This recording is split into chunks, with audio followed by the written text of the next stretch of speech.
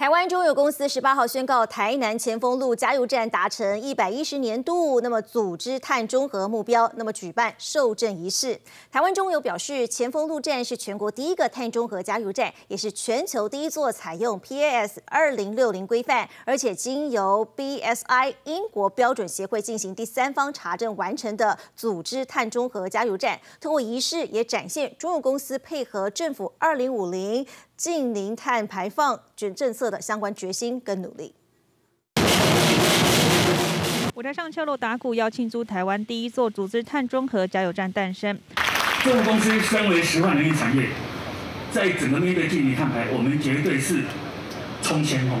中油公司新任董事长李顺清特别南下到台南前锋路加油站举行受证仪式。他说，前锋路站是全国第一座碳中和加油站，也是全球第一座采用 PAS 二零六零规范、经 BSI 英国标准协会进行第三方查证完成的组织碳中和加油站。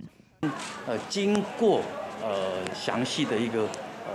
盘查，哦，包括盘查它的排放源，还有它的数量，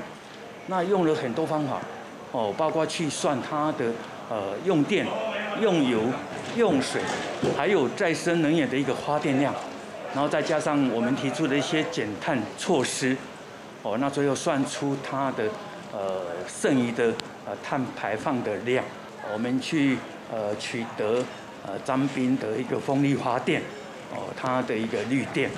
所以这样子完成台湾第一座，它是二零六零呃碳中和的。加油站授证仪式更邀请到台南市长黄伟哲、经济部环保署等单位共同见证。李顺清说，前锋路站是黄金级绿建筑，也是全台第一座多元智慧能源加油站，未来会持续带动国内企业朝向二零五零年近零碳排目标努力，将环保与永续的概念融入营运，善尽企业社会责任，留给下一代美好环境。记者综合报道。